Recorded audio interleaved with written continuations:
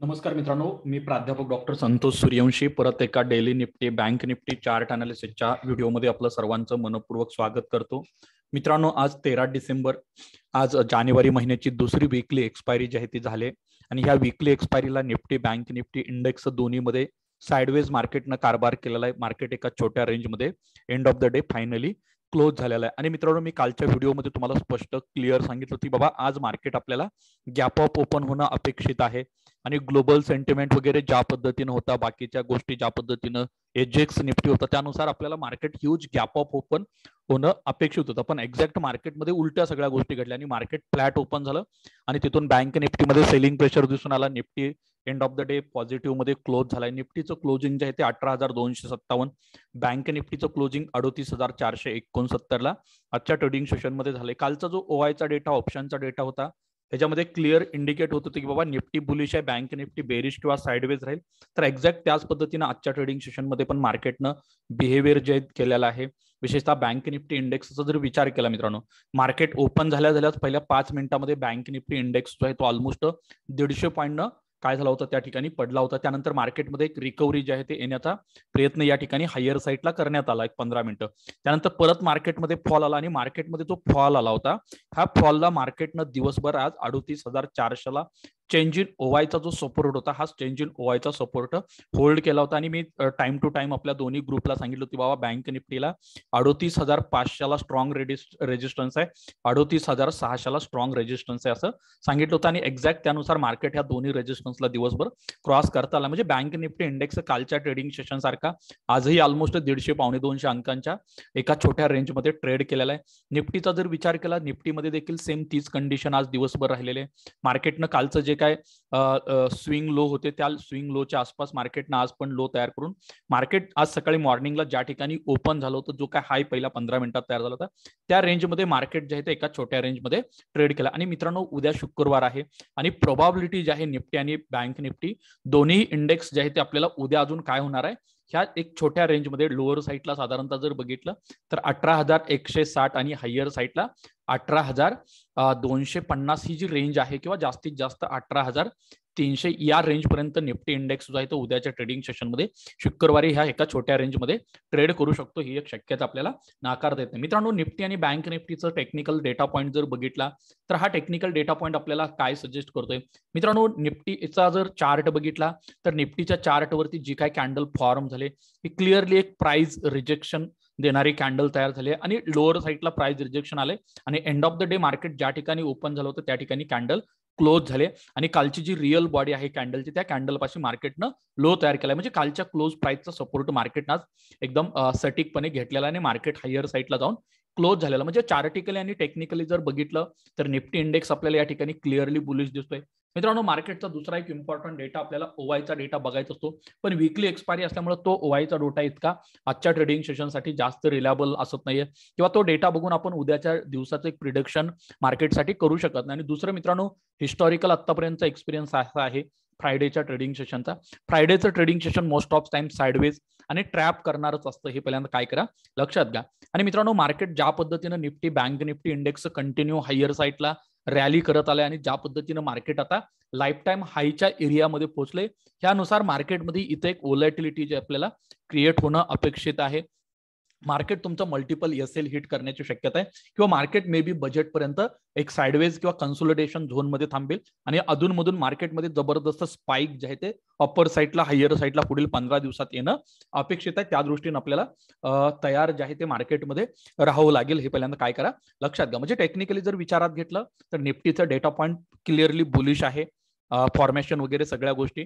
Bank निफ्टीचा जर विचार केला तर बँक निफ्टीचा डेटा पॉईंट मित्रांनो परत एकदा बेरिश होताना दिसून येते पण टेक्निकली जर चार्टिकली तुम्हाला कॅन्डलच्या प्राइसनुसार जरी बे बेरिश कॅन्डल तयार झालेले दिसले असते तरी हा एक पॉज आहे. आणि हा पॉज पॉसिबल मित्रांनो पुढल्या अजून एका ट्रेडिंग सेशनसाठी मार्केट घेऊ शकतं. म्हणजे बँक निफ्टी इंडेक्स ह्या रेंजमध्ये अजून पण एक ते दोन दिवस ट्रेड करू शकतो. म्हणजे फ्रायडे आणि मंडेला मंडेला किंवा मंगळवारी मार्केट हायर साईडला या ठिकाणी एक नवीन टेरिटरीजमध्ये एंटर करण्याचा प्रयत्न करेल असं वाटतं. पण टेक्निकली आणि जर बघितलं चार्टिकली जर बघितलं निफ्टी बँक निफ्टी दोन्ही इंडेक्स बुलिश आहेत. ओवायचा डेटा आपण आज बघणार नाहीये. कारण का ओवायचा डेटा इतका जास्त आपल्यासाठी रिलायबल असत नाही. मग मित्रांनो या पार्श्वभूमीवर तुम्हाला उद्या निफ्टीमध्ये जर ट्रेड टाकायचा असेल तर हा निफ्टी मधला ट्रेड तुमचा नेमका कुठून आणि कशा पद्धतीनं बनवू शकतो? मित्रांनो तुम्ही जर अजूनपर्यंत माझ्या युट्यूब चॅनलवर नवीन असाल आणि तुम्हाला जर माझा युट्यूब चॅनल जॉईन करायचा असेल किंवा प्रीमियम टेलिग्राम चॅनल जॉईन करायचा असेल तर आपला हा फ्रीमधला बाजारबुल नावाचा टेलिग्राम चॅनल आहे. हा पण तुम्ही जॉईन करा. त्याचबरोबर डॉक्टर संतोष सूर्यवंशी. हा युट्यूब चॅनल पण काय करा सबस्क्राईब करा. त्याचबरोबर मित्रांनो माझी तुम्हाला सर्वांना हात जोडून विनंती आहे तुम्ही जर मी दिलेल्या कॉलवर ट्रेडिंग करत असाल किंवा युट्यूबला ज्या मी लेवल दररोज तुम्हाला शेअर करतोय त्या लेवलच्या साह्यानं जर तुम्ही कुठं ट्रेडिंग करण्याचा प्रयत्न करत असाल तर एक गोष्ट नेहमी लक्षात ठेवा डेरिव्हेटिव्ह मार्केटमध्ये ट्रेडिंग करणं हे खूप जास्त रिस्की आहे. ज्या व्यक्तीची मार्केटमध्ये रिस्क घेण्याची तयारी आहे अशाच व्यक्तीने डेरिव्हेटिव्ह मार्केटमध्ये काम करावं. जे लोक परमनंट जॉब करतात फुल टाइम नोकरी करतात किंवा जी लोक रिटायरमेंटच्या जवळ आलेले आहेत ज्यांचं वय पन्नासपेक्षा पुढे गेलेलं आहे किंवा जी लोक रिटायर झालेले आहेत ऑलरेडी अशा लोकांनी स्टॉक मार्केटमध्ये ट्रेडिंग करू नये. त्यांच्यासाठी ते ट्रेडिंग नाहीये किंवा तुमची जी रिस्क घेण्याची कॅपॅसिटी ती मार्केटमध्ये असत नाहीये त्यामुळे माझी विनंती असेल कळकळीची कुणाला जी लोक रिटायर झालेत किंवा जी लोक रिटायरमेंटच्या जवळ आहेत आल्या अशा कुठल्याही लोकांनी स्टॉक मार्केटमध्ये येऊ नये. ट्रेडिंग करू नये कोणत्याही प्रकारचं ट्रेडिंग करू नये किंवा डेरिव्हेटिव्ह मार्केटमधलं तर ट्रेडिंग बिलकुल करू नये. अशा लोकांनी स्विंग ट्रेडिंग किंवा लॉंग टर्म इन्व्हेस्टमेंटवर फोकस करावा. ते जास्त तुम्हाला सोयीस्कर असेल. किंवा दुसरं मित्रांनो अजून एक तुम्हाला सर्वांना माझा सजेशन असेल सल्ला असेल. खूप लोक व्हॉट्सअपला मेसेज करतात कॉल करतात. विचारतात सर आम्ही अमका अमका ऑप्शन खरेदी केलाय हे खरेदी केलंय ते खरेदी केलंय. मित्रांनो तुम्हाला जर खरंच डेरिव्हेटिव्ह मार्केटमधून जर पैसा मिळवायचा असेल तर कोणत्याही परिस्थितीमध्ये तुम्ही ऑप्शनमध्ये कोणतीही पोझिशन ओव्हरनाईट कॅरी करू नका. काय सांगतोय मी? ओव्हरनाईट पोझिशन कॅरी करू नका. ते पण दोनशे तीनशे चारशे हजार बाराशे अशा क्वांटिटी तर कधीच बाय करू नका. एखादा दुसरा लॉट तुम्ही ओव्हरनाईट कॅरी करू शकता. शंभर दीडशे दोनशे तीनशे क्वांटिटी अशा कधीही ओव्हरनाईट कॅरी करू नका. तुम्हाला दहा पैकी चार ट्रेडमध्ये प्रॉफिट होईल पण सहा ट्रेडमध्ये लॉस होणार आहे.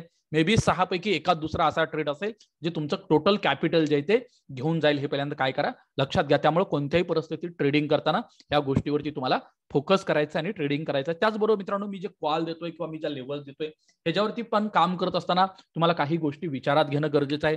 तुमच्याकडे जे काय कॅपिटल असेल त्या कॅपिटलच्या वीस टक्क्यापेक्षा जास्तीचं कॅपिटल कधीही एका ऑर्डरमध्ये किंवा एका लेवलमध्ये ट्रेड टाकताना टाकू नका. आणि दिवसामध्ये मित्रांनो लिमिटेड ट्रेडिंग करत चला एक ते दोन ट्रेड जास्तीत जास्त टाकत झाला तुम्ही जेवढे नंबर ऑफ जास्त ट्रेड दिवसामध्ये टाकाल तेवढी तुमची विनिंग प्रॉबॅबिलिटी कमी बनते आणि तुम्ही त्या ठिकाणी लॉस खाण्याची प्रॉबॅबिलिटी वाढते हे पहिल्यांदा लक्षात घ्या. मित्रांनो या पार्श्वभूमीवर तुम्हाला जर उद्याच्या ट्रेडिंग सेशनमध्ये निफ्टी बाय करायचं असेल तर निफ्टी इंडेक्स जोपर्यंत अठरा हजार तीनशे सतराच्या वरती जात नाही तोपर्यंत निफ्टी बाय करू नका.